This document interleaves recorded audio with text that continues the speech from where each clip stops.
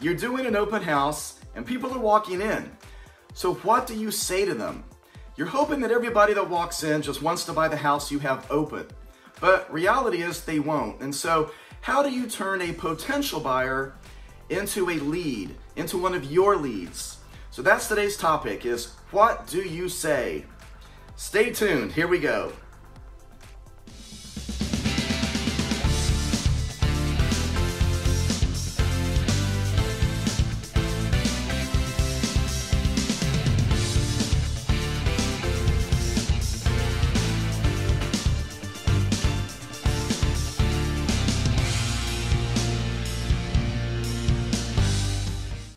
Before we jump into all of this, we need to talk about how your market is right now and maybe how coronavirus has influenced it.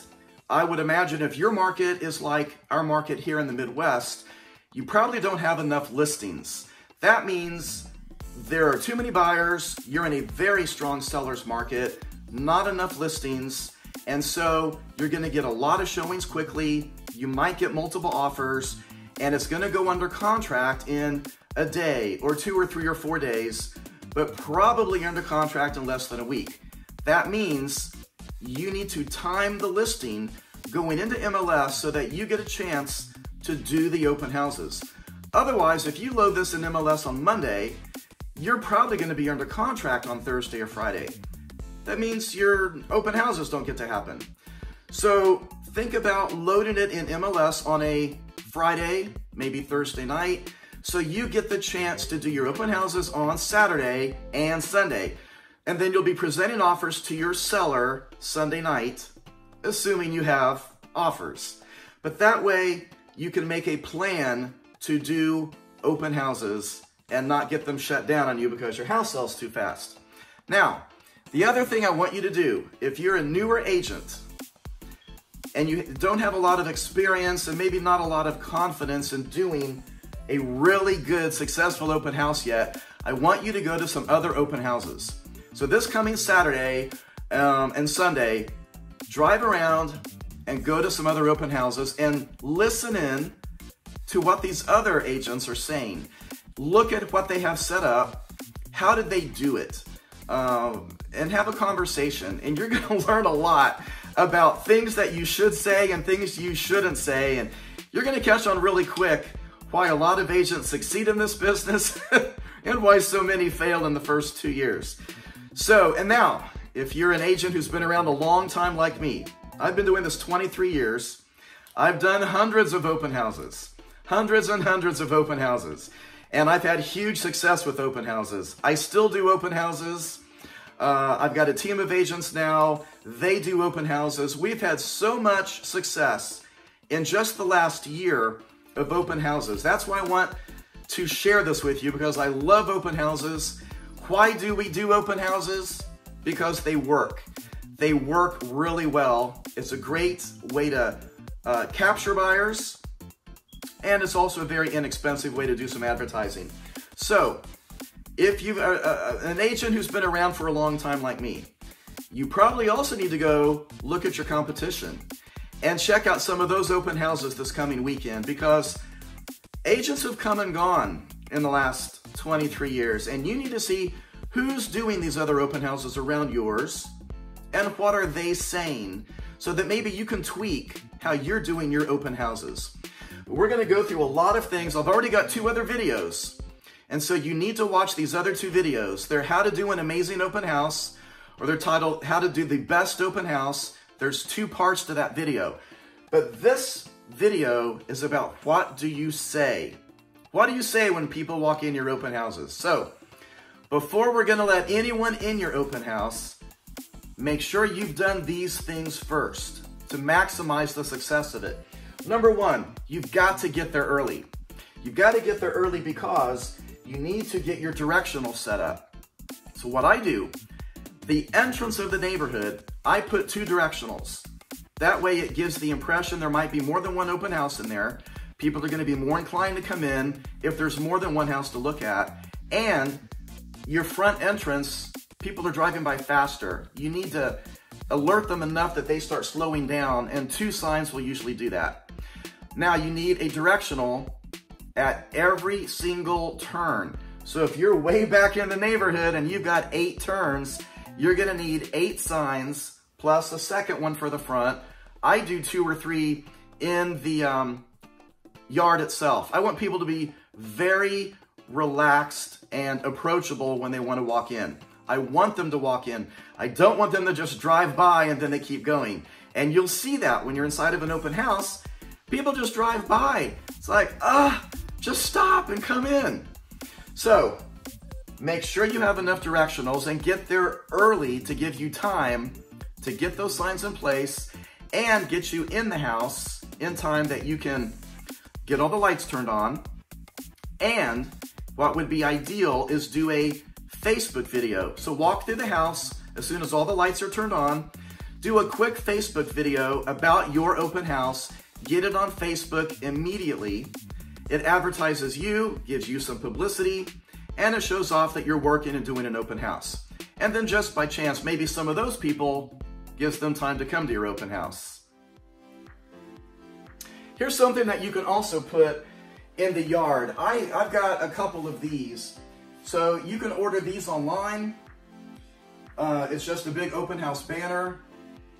It, uh, it goes on a stake in the yard and then it flaps around in the wind. This is great to, to uh, attract a lot of attention and they're relatively pretty cheap because you're gonna use this a lot if you're doing a lot of open houses. Uh, you can get those online. You can get them at your local real estate board office. That's where I got that one. Um, so now let's let's jump into more of this.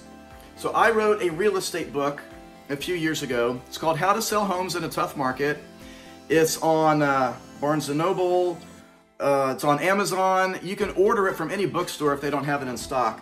And in this, I've got my 25 successful tips with a lot of humorous stories just to make it more entertaining. I've got everything that we're going to talk about today, for the most part, is in this book. So let's jump in here more. So some things that you need to be set up with in your open house. You need an MLS sheet about the house. And because there's going to be information on that like taxes and room sizes and everything that the listing agent, which could be you, has typed in, you need it with you. You also need one copy of the disclosure. Now, you're not doing this to pass out. Don't don't print a stack of these because you that's a great way. If people are interested in that house, then that's the great way to get their email address so you can email this to create a conversation on email about the house. It's a great way to either sell the house you're in or turn the uh, potential buyer into a lead. But you need the disclosure with you because they're going to have questions about the ages of the roof, the furnace, the air, the hot water heater, um, did the sellers mention that they have water coming in the basement? All that's on the disclosure. Now, your mission with this open house, your primary mission is to sell the house you're in. That's your goal. Out of respect for the homeowner, that's why you're there, is to sell the house you're in. Now, the reality is, most people walking in are not going to want to buy that one particular house. So, the purpose of this video is trying to capture them as a client of yours. So now, let's talk about what you're wearing. What are you wearing? Here's what I do. Do not wear shorts. If it's 100 degrees out, do not wear shorts. You need to wear business casual. Uh, you can think about if you want to wear jeans, but I wear dress pants and a uh, button-up shirt. Maybe it's just a short sleeve polo shirt in the summer. But do not wear a t-shirt. Do not wear shorts. You need to look professional. This is your job and you're at work. This, this is what you are doing today to work. And so you're also being compared to the other open houses where these people are going. So look professional. Do not wear a tie. If you're coming from church, I would not wear a sports coat, just wear business casual. Don't overdress and don't underdress. Um, and for the ladies, just look really good. Ladies can get by with, with so much more than the guys. We is pretty much what we have on. It's what I'm wearing today. So, um, but don't go so casual that people don't take you seriously. Don't don't look like you just came in from working out or you just walked in from swimming and that's that's just not going to work. Now the other thing you need to have printed. This is for you.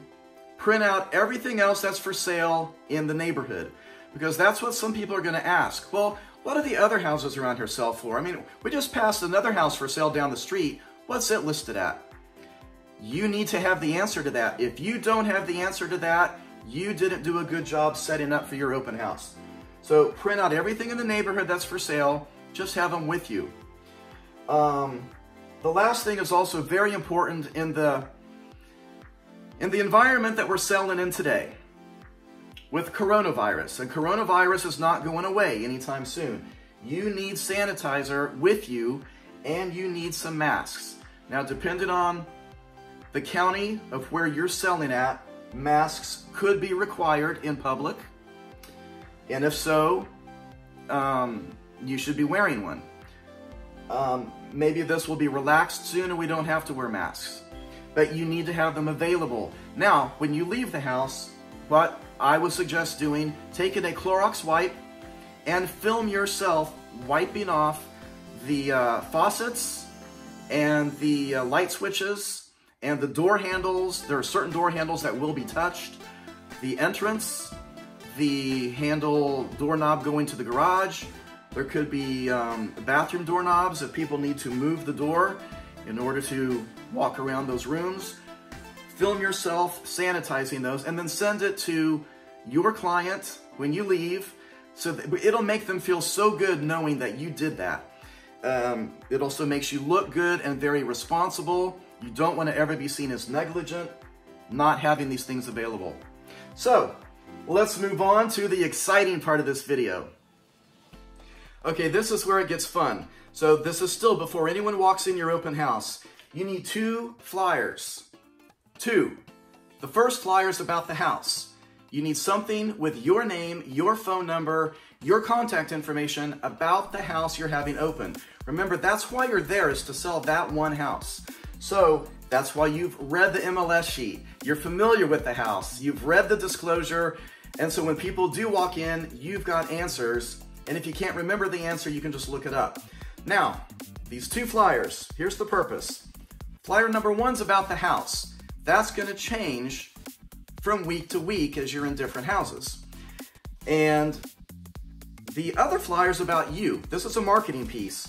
You can have anything, but keep in mind, the other person, the other purpose that you're there is to try to capture a buyer. If they're not going to buy that house, then you want some information about yourself. This is what's going to set you apart from other agents doing open houses. You need something that they're going to keep about you. So here's a flyer. These are past mailings. So if you just did a mailing, then you've already got a flyer. And we're going to talk about how to do mailings and how to do your advertising and marketing on, on some future videos. By the way, speaking of that, please click subscribe and you'll need to turn on your notifications down there also so you're notified when I make these other videos. Um, so I've been doing this for 23 years. And speaking of that, I, uh, you'll see in the beginning, uh, I was listed in Forbes magazine last year and this year representing um, Kansas City in real estate as one of the top market leaders in the country. So this was a flyer that went out on one of my mailings this year. Sometimes I'll just have a stack of these as my extra flyer. Something else that I've done, you can, depending on the city that you're in, you might have uh, a sports team you can make a schedule about um, your football team or your baseball team. If you're in a smaller city and you don't have a professional team like like uh, we have here, then um, do a schedule of the high school games. You could do football, all the different sports that they have, and do multiple mailings. Um, that can also be a great mailing for any local market. Wherever you're in your local suburb, uh, you could combine your different high schools and do um, a football, basketball, all those different kinds of ideas. Now, it's not about the schedule. Remember, it's not about the schedule. It's about the part up here about me. I want them to keep my name and my phone number handy. And this has a uh, magnet on the back, so hopefully they hang it up on the refrigerator. Next time they're getting milk, eh, there I am, in case they think about selling their house. Something else I've done in the past, these are trifold flyers. They look more professional. I enjoy showing off the agents on my team. So this is who was on my team. Here's a uh, family picture. Here's information about me. And then it's, of course, on everything you ever make, you want to ask for uh, referrals. And so that's this. Now, something I've noticed in the last year, Vistaprint is now giving you the ability to make these on their site. It's uh, cheaper than how I used to have to make this. This was through a different company, but now Vistaprint offers more control and I can do this more individually. One thing I want to tell you before we move on, I'll talk about this on future videos. This is a picture that was allowed for free on Vistaprint's site. The, the front was pre-made and then I you get to play with it and alter it. This is a stock photo that's allowed. This is my personal house. My wife took the picture of me with my sign in front of my house. I own this picture. If you're going on um, the computer and you think you're downloading a free picture to use on your marketing and it says it's free and there's no copyright, make sure it truly is free because you don't want to get dinged with some copyright infringement on some picture you're marketing with. Now, let's move on. Those are the two flyers. Now you're gonna pass those out in the hopes that they take your other flyer. So now we're finally ready to let people in your open house. So at this point, you've done everything on this video so far, and uh, you've looked at my other two videos on how to do it the best open house, and because it has 20 successful points on it too. Now we're to the point, I want you to get this book or a book just like this. This is called How to Have Confidence and Power in Dealing with People. This book's by Les Giblin. It's been around a long time, many decades. I read this back in college a long time ago. I've been doing this 23 years, so I was five years old when I got started. anyway, I, I believe in this book so much, I've bought multiple copies for everyone on my real estate team because this book is going to teach you people skills. There are lots of people skills books out there. Doesn't matter which one you get. Just get a book that will help you with some uh, fine tuning your people skills because this is where you're going to need the best people skills possible. Now, before in the video, I wanted you to go to some other open houses to see what those agents do. When you walked into those, you're walking in like a buyer would. When you walk into an open house, what would you want? What does the buyer want from the agent that's in there? So they want information about that house first, but they want an agent who knows the area. So you may not know the area well, so you need to give the impression that you do know the area. That's why you've already printed out what everything else is for sale in that neighborhood. They want an agent who's going to be available to them. So as you start having conversations, realize they might want to go look at houses later that night or the next day. And they want someone to help them who is genuinely interested in them, their situation, what they're looking for, and where they're at in life. They want somebody who's genuinely listening and trying to find the solution as to the house they're looking to buy. So, keep this in mind, what their perspective will be as they're talking and listening to you. So now it's showtime. People are walking in your open house. What do you say? This is the topic of the video. So this is what's going to set you apart from your competition. What do you say? What do you not say? How do you say it? How do you handle the conversation? This is where it becomes fun. Now, before we get into all this, I've been doing this a long time, 23 years. My first two years were really, really bad. I sold one house in my first two years. My third year started really taking off. During that very beginning, I did have an open house where I did everything and I did it right. And it became a huge open house. Many open houses in a row. Many of those did become successful. The last open house I had there, I think was number seven, and I did sell the house. Now, they had their own agent, but the house, it was my listing, the house still sold only because of the open house. But along the way, I did pick up buyers, I picked up neighbors, and over the next few years, all of those different clients that I picked up uh, amounted to over $100,000 in my personal income.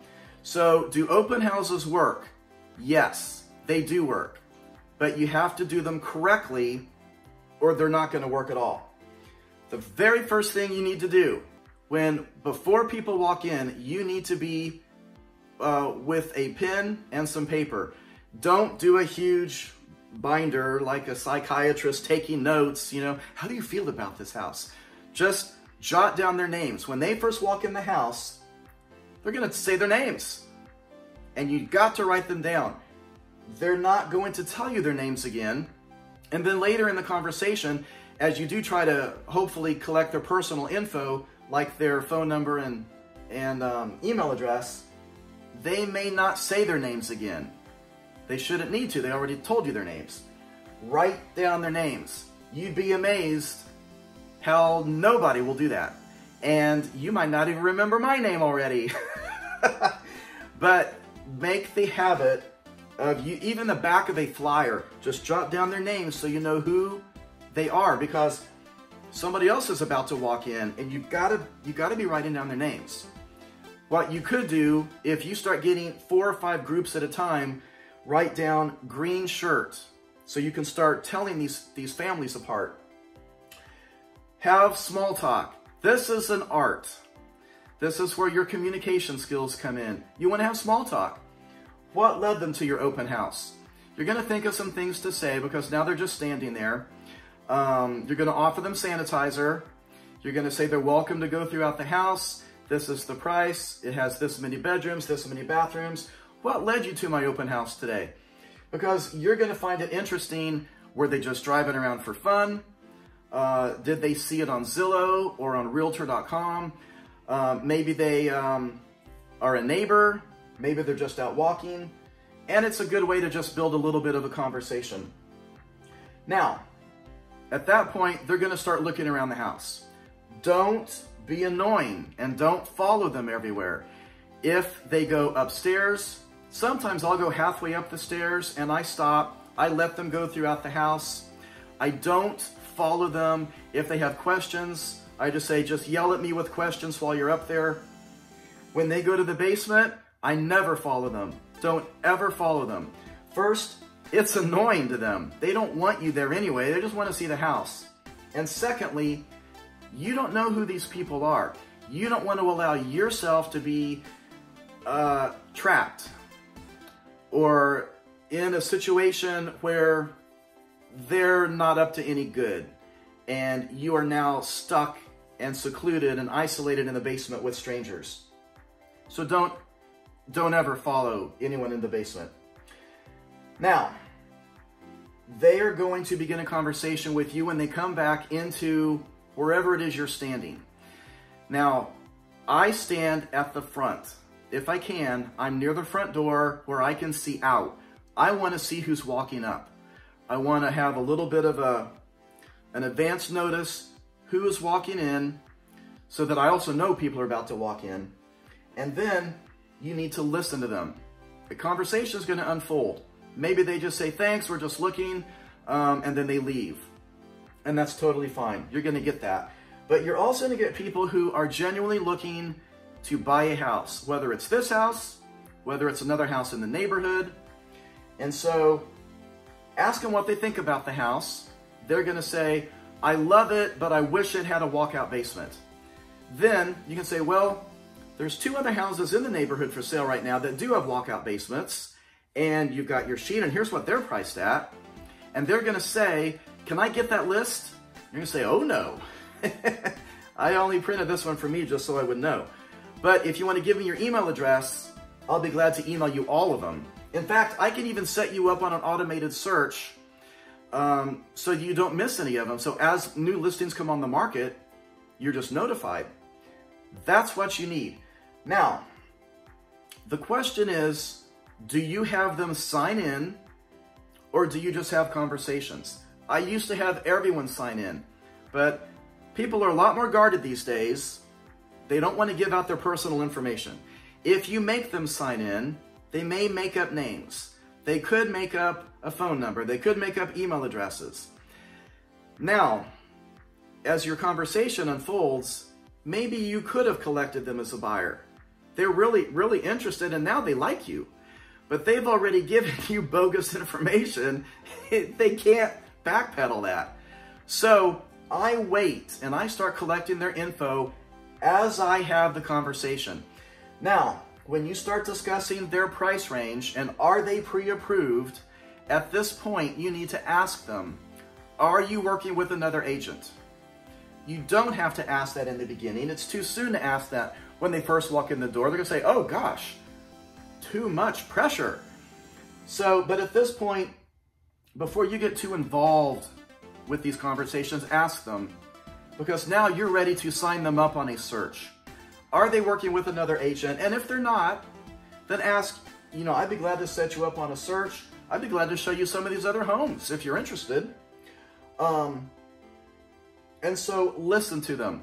They're going to tell you what they're looking for. So now you need to start taking some notes. Uh, they could say, well, we're downsizing. And, um, or they're, they're, uh, one of their parents is going to be moving in with them. So they need a ranch they need another bedroom in the basement with a walkout basement, maybe a kitchen down there. Maybe uh, they, they are coming in with a three-year-old and a baby, and you can tell she's pregnant, and they need a much larger home. That's obvious. They are upgrading. So, listen to everything that they're saying. Have small talk, but don't be annoying and, and give them the high pressure sales pitch. What you want to do is collect their information. You want their phone numbers, you want their email address. If you can get their home address, then you can send them, put them in your mailing list, and you can send them your uh, junk mail. you can send them your magnets and flyers about yourself as you do your next um, advertisement. That's a great way to collect um, addresses to beef up your name list. Something I've noticed when I've gone to other people's open houses, because I still do that, if I'm on my way home and there's a couple open houses in my neighborhood, I typically do stop by because I just want to see, I just want to see the house really quick. So something I've noticed other agents will do is when I walk in, they're sitting there on a laptop or they're sitting there on their phone. While I'm looking around the house really quick, they're sitting there playing computer games. They're not talking with me enough. They're not creating small talk.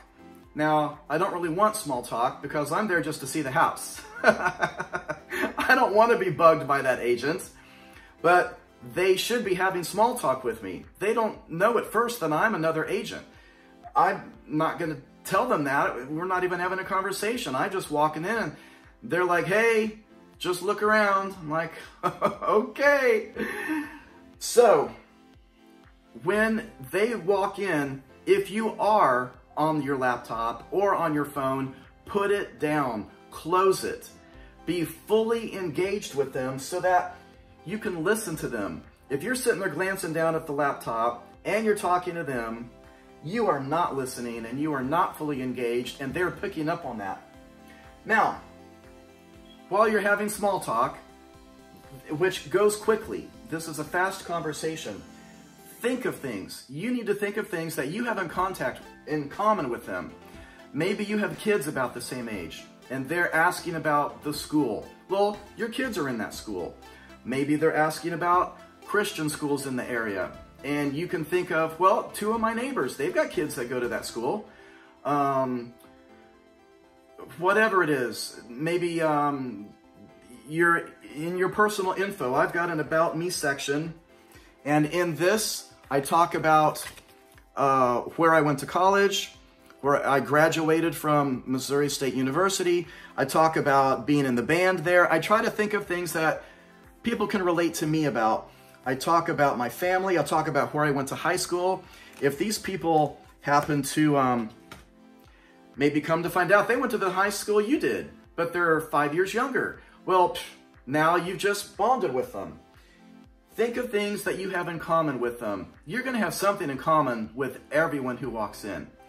Um, maybe they, um, maybe they're, they are downsizing and you can say, well, you know, my parents just downsized. I just sold their house last year because they just needed to downsize and they went to a, a retirement community and the people are coming through, they're just curious to see what's going on in the neighborhood. You could be having neighbors come through. What you don't know is they are thinking of also moving in about six months. If you are very well prepared with all of this, they're going to keep your info. They may call you. I can't tell you how many listings I've picked up from my open houses from the surrounding neighbors because in my other two videos, I show what I do to canvass those neighborhoods before my open houses. Um, now, after the small talk, after you've talked with them, after you've developed a little bit of some things in common, now you want to ask for their personal info. Don't ask for them to sign a book when they first walk in. They're not going to want to do that, but now they will. They want you to set them up on a search. They want you to email them the disclosure, or they want you to email them other houses in the neighborhood for sale. Now they're going to give you their real info. they're going to give you their real email addresses and their cell phone numbers so you can text also. Remember, you've already got their names. Use their names while you're talking with them. As they leave, you've got a bottle of sanitizer. Offer them to use your sanitizer again. They will. They're going to appreciate that because they've been touching things in these people's house. So now, by the way, if you're having a vacant house open, make sure you bring some toilet paper with you because the house you're in may not have any. And um, that's another reason you're going to want sanitizer with you. Something else you could be doing during your open house, as you're listening to them, ask them what their, your, their price range was. If this house is too much money, and many times it is, if you're in an upper bracket listing, they'll be embarrassed at first, but they'll say, I can't afford this house. But you can ask that and say, what price range are you looking for? And then they'll say, well, significantly lower. and that's when you can say, are you pre-approved? Have you talked with a lender? And if not, refer them to a lender that, that you're using because you need to get them pre-approved. They need to know what they can really afford. Uh, it's possible if you do have a lender that you use quite a bit, they might have made a flyer for you for this open house showing what different payments can be. That also makes you look good and then the lender's hoping to pick up some business also. One thing I want you to understand when you're doing open houses, the key is consistency. You're not going to pick up a buyer every open house. Now, you have to go through this on every one. You've got to do everything on this video and the other two open house videos consistently. Do the best job you can setting up. Do the best you can in the house. Be, be on your A game. Make sure you've had enough sleep the night before. Make sure you're prepared. Don't walk into an open house and not know anything about the house that you're at. It'll come off making you look very unorganized and that you just have no clue what you're talking about. Don't get frustrated. There are two keys to doing an open house. Number one is consistency. You've got to do them all the time. All the time. The biggest problem you'll ever have with an open house is collecting too many new buyers off of it. Then you don't have time to do more opens because you're out showing houses every weekend. The other thing, don't get frustrated. If you do five open houses in a row and some of those nobody comes, some of those you there's just nothing good coming out of it. You're not you're not selling the house, you're not picking up any buyers, nobody seems interested. Keep doing them. Consistency is the key. you might have to do 10 open houses in a row and then boom, you pick up a buyer. And then open house after that, you pick up another buyer. Two houses after that, you pick up two buyers on the same open house. And then like, wow. But you've got to remember, open houses work. They, they do work, but it's a numbers game, just like everything in real estate. It's a numbers game. If it was so easy that you just do one open house or two in a row and boom, you get two or three brand new clients, it just it just doesn't work like that. So, don't let yourself get frustrated and consistently do them over and over and over and over. And I guarantee you're going to have amazing successful open houses. Thanks for watching. I hope you enjoyed this video. I love open houses. I still do open houses all the time. Everyone on my team does open houses. We do them because they work. They just work. Thanks for watching. Please subscribe if you haven't already done it. And I'm going to make some more videos because this was really fun to do. And please turn on your notifications. Thanks.